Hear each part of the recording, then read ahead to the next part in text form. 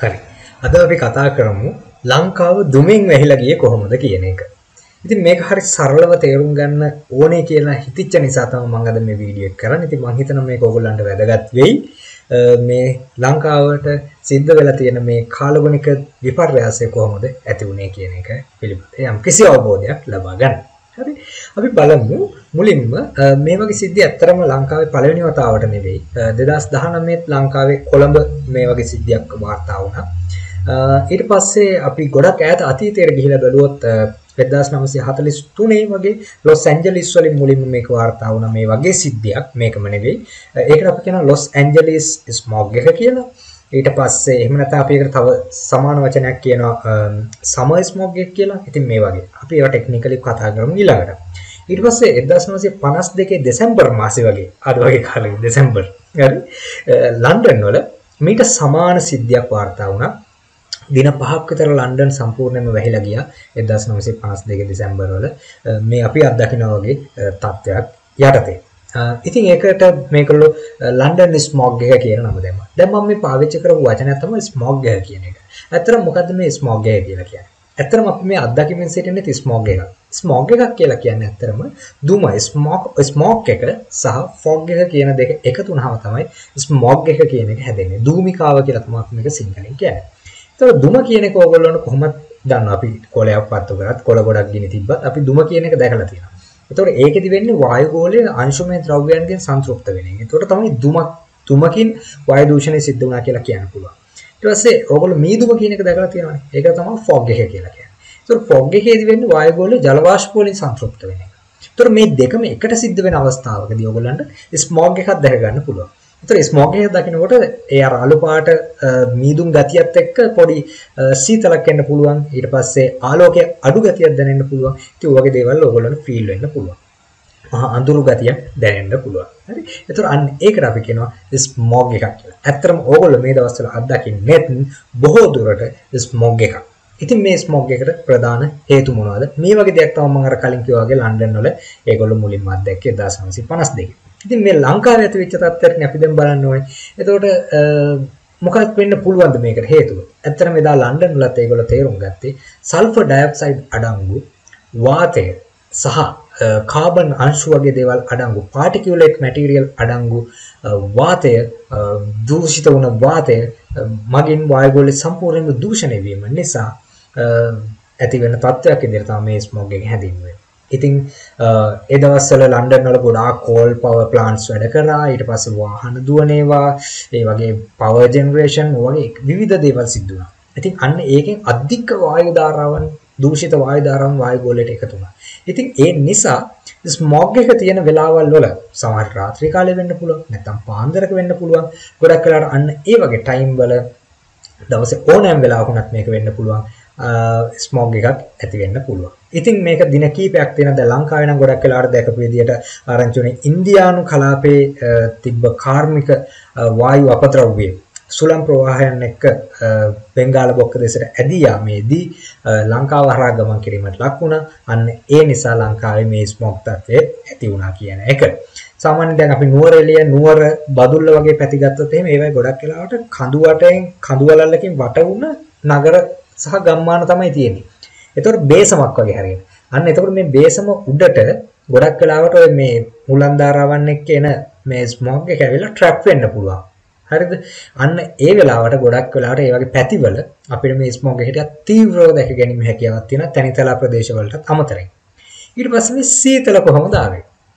ඒකට හරිම ලේසි හිතාගන්න.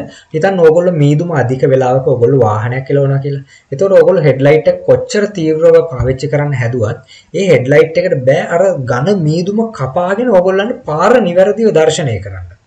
මොකද මේ මීදුමේ ඒ කියන්නේ ජල වාෂ්ප වල සාන්ද්‍රණය වැඩි නිසා වායු ගෝලේ අර ලයිට් එක ඕගොල්ලෝ තීව්‍රව ගැහුවට ඒ ලයිට් එකේ තියෙන ආලෝක කදම්බ අර ජලාංශ වල වැදිලා විසිරීමකට ලක් වෙනවා. අපි කියන්නේ ස්කැටර් වෙනවා කියලා. ඉතින් ওই දෙයම මේ වායුගෝලයේ සම්පූර්ණයෙන්ම මේ අංශුමය ද්‍රව්‍ය වලින් වැහිලා තියෙනකොට සූර්යාලෝකයටත් ওই දේ සිද්ධ වෙනවා. එතකොට සූර්යාලෝකයත් මගට ඇවිල්ලා මේ අංශු වල වැදිලා විසිරීලා යනවා.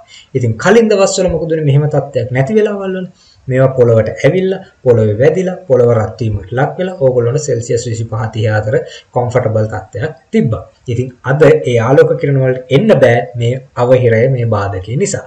අන්න ඒ නිසා ඕගොල්ලන් පොඩි සීතලක් දැනෙනවා ඇති. ඉතින් මේ තත්ත්වය දින කිහිපයක් යනකොට සුළං ප්‍රවාහයත් එක්ක පහ වෙලා යන්න ඉඩ තියෙනවා. නමුත් මේක ඒ තරම් හොඳ හොඳ තත්ත්වයක් නෙමෙයි. සෞඛ්‍යයට එහෙම ඇත්තරම හොඳ නැහැ. ඉතින් අපි ඔය කතා කරේ ස්මොග් එක ගැන. ඉතින් බොහෝ දුරට ලන්ඩන් ස්මොග් එකට ආසන්නයි. හරි. ඊට පස්සේ මම කිව්වා තව කතන්දරයක් මේකේ තියෙනවා කියලා. ඒ කියන්නේ සමර් ස්මොග් එක, එහෙම නැත්නම් අපි කියන ලොස් ඇන්ජලිස් ස්මොග් එක, එහෙම නැත්නම් අපි ඒකට තව සමාන වචනයක් කියනවා ෆෝටෝ කෙමිකල් ස්මොග් එක. මේ ෆෝටෝ කෙමිකල් ස්මොග් එක කියන්නේ ප්‍රකාශ රසායනික දූමිකාව. මේක සිද්ධ වෙන්න අර කලින් එකේ වගේ නෙවෙයි ආලෝක තත්ත්වයන් තිබිය තියෙන අවස්ථාවල වල තමයි මේ ෆෝටෝ කෙමිකල් ස්මොග් එකක් ඕගොල්ලන්ට දකින්න පුළුවන්. ඉතින් මේ දෙක වෙන් කර අඳුර ගැනීම හැකියාව තියෙන ස්මොග් එක ටිකක් අලු පාට සුදු අලු පාටට හුරුවට තමයි ගොඩක් වෙලාවට ස්මොග් එකක් පේන්නේ. නමුත් අර මම ෆෝටෝ කෙමිකල් ස්මොග් එක එහෙම නැත්නම් ලොස් ඇන්ජලිස් එහෙම නැත්නම් සම කියන ස්මොග් එක ඔය ඔක්කොම එකයි. හරි? ඒක ගොඩක් වෙලාට ආලෝකයේ තියෙන වෙලාවල් ඕගොල්ලන්ට අහසේ මේන්න මේ රූපේ පේන විදිහට පොඩි රතු පාටක් තැඹිලි පාටක් එක්ක තමයි බලා ගන්න පුළුවන් වෙන්නේ. මේකට හේතු තියෙනවා. හරි මේ ආලෝකයේ මේ විදිහට පේන්න හේතු තියෙනවා. මේකට හේතුව තමයි රසායනික ද්‍රව්‍ය වායුගෝලය අඩංගු වෙලා තියෙන්නේ. ඉතින් අපි බලමු ෆෝටෝකෙමිකල් ස්මෝක් කලින් ලෝකේ කොහෙද වෙලා තියෙන්නේ. මේ බලන්න චීන බීජින් නුවර මොකද්ද වෙලා තියෙන්නේ? මේ 2000 2010න් පස්සේ වගේ මේ. ඊට පස්සේ නවදිල්ලි වල මේ වගේ ෆෝටෝකෙමිකල් ස්මෝක් එකක් ඇති වෙලා තියෙනවා. ඉතින් අර මම අර කලින් කිව්ව එකේදී අංශුමය ද්‍රව්‍ය වලින් තමයි ගොඩක් පරිසර දූෂණය වුනේ. හැබැයි මෙතනදී ඊට වඩා ටිකක් කතන්දරේ වෙනස්. මොකද නයිට්‍රජන් වල ඔක්සයිඩ් අඩංගු වීම නිසා වායුගෝලයේ දූෂිත වායුවේ මේ ෆෝටෝකෙමිකල් ස්මොග් එක සිද්ධ වෙනවා. ඉතින් මේකෙන් ගොඩාක් අහිතකර බලපෑම් සිද්ධ වීම හැකියාව තියෙනවා. සෞඛ්‍යයට එහෙම ඉතාම හොඳ නැහැ. මේ ස්මොග් වර්ග දෙකම ඇත්තටම හොඳ නැහැ. ෆෝටෝකෙමිකල් ස්මොග් එක ගත්තොත් එහෙම ඒකේ අරකට වඩා අහිතකර බලපෑම් තියෙනවා. මොකද අංශුමය ද්‍රව්‍යයන් වලට වඩා රසායනික ද්‍රව්‍යයන් තමයි මෙතන මූලිකත්වය අරගෙන වැඩ කරන්නේ. එතකොට මේ ෆෝටෝකෙමිකල් ස්මොග් එක ගත්තාම ඕගොල්ලෝ දන්නවද මේ ස්මොග් එක එහෙම නැත්නම් අපි ෆෝටෝකෙමිකල් විතරක්මනේ අපි ස්මොග් එක දෙකම එකට අරන් කතා කරනවා. මේ දෙකටම ප්‍රධාන සාධක කීපයක් තියෙනවා මේ දේ ඇති වෙන්න. බලන්න මෙතන ගස් කැපීම, ඒවා ගිනි තැබීම, වාහනවල ෆොසිල් ඉන්ධන දහනය, ඊට පස්සේ මේ බලන්න කර්මාන්ත ශාලාවල ඉන්ධන දහනයෙන් ඇතිවන වායු දූෂණය, ඊට පස්සේ කෝල් ප්ලාන්ට්ස් වලින් බලන්න කොච්චර දුමාරයක් එනවද කියන එක. ඉතින් මේ ඔක්කොම මිනිසා විසින් නිර්මාණය කරගත්තා. මෙතන එකයි තියෙන්නේ අපිට කන්ට්‍රෝල් කරන්න බැරි. ඒ තමයි මේ වෝල්කැනික් ඉරප්ෂන් කියන එක. ගිනි කඳු පුපුරා යාම. එතකොට ඒක අපිට පාලනය කරන්න බෑ ඒක පරිසරයේ ස්වභාවිකව වෙන දෙයක්.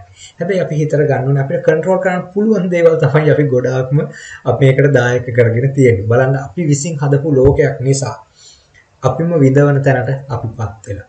ඉතින් අපි තේරුම් ගමු මේ දේවල් කොහොමද අපි අඩු කරගෙන අවම කරගෙන අපේ අවශ්‍යතාවයන් ඉෂ්ට කර ගනිමින් සස්ටේනබල් විදියට මේ දේ ගෙනියන්න කියන එක ගැන අපිට තවදුරටත් හිතන්න යමක් ඉතුරු කරන්න තමයි ස්වභාවිකව අපිට මේ පණිවිඩය ගෙනත් දෙන්න ඇත්තේ කියන එක මට මේ වෙලාවේ හිතෙනවා. හරි.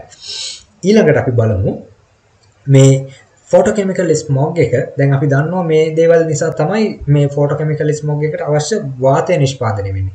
ගොඩක් වෙලාවට මේ මේ මේ රූපේ බලන්න මම සරලව පෙන්නලා තියෙනවා මෙතන නිකුත් වෙන වාතයේ අඩංගු වෙනවා නයිට්‍රජන් සහ ඔක්සිජන් අඩංගු නයිට්‍රජන් ඔක්සයිඩ්. ඒ වගේම VOC. VOC කියලා කියන්නේ volatile organic compounds. ඒ කියන්නේ වාෂ්පශීලී කාබනික සංයෝග. මේවා වායුගෝලයෙන් නිදහස් වුණාට පස්සේ මේ බලන සූර්යාලෝකයේ තියෙන වෙලාවල් වල මෙයාලට පුළුවන් විවිධ ප්‍රතික්‍රියා මාලාවන් ඔස්සේ ගිහිල්ලා PAN ඕසෝන් ඊට පස්සේ ඇල්ඩිහයිඩ් වගේ සංයෝග හදන්න. අන්න ඒව වායුගෝලයේ සාන්ද්‍රණය වැඩි වෙච්ච වෙලාවල් වල ඔයගොල්ලන්ට සූර්යාලෝකයේ ඇතිවිලදී උදේක දවාලක හවසක වගේ වෙන්න පුළුවන්. මේ ෆෝටෝකෙමිකල් ස්මොග් ගතියක් දකින්න ඉඩ පුළුවන්කමක් තියෙනවා. හරි. ඒතකොට මේ බලන්න මෙතන මේ ඔයගොල්ලන් මම පෙන්නලා තියෙනවා මේකෙදි සිද්ධ වෙන ප්‍රතික්‍රියා මාලාව. මේක මම සම්පූර්ණයෙන් විස්තර කරන්නේ නැහැ. ඔයගොල්ලන් මෙතන පේන සූර්යාලෝකයේ මුදුනේම පේනවා. ඊට පස්සේ වාහන වලින් නිදහස් වෙන හයිඩ්‍රෝකාබන් සහ නයිට්‍රජන් ඔක්සයිඩ් තියෙනවා. මේවා බලන්න කොච්චර චක්‍රීය ප්‍රතික්‍රියාවල් මාලාවක් ඔස්සේ යනවද. චක්‍රීය ප්‍රතික්‍රියාවක අවසානය දකින්න වෙන්නේ කැඩෙනවා, හැදෙනවා, කැඩෙනවා, හැදෙනවා. අන්න ඒ විදිහට මෙයා ගොඩ කාලයක් මේ වායුගෝලයේ රැඳිලා ඉන්නවා. අන්න එහෙම ඉන්නකොට දීර්ඝ කාලීනව මේකේ බලපෑම ඕගොල්ලන්ට එල්ල වෙනවා.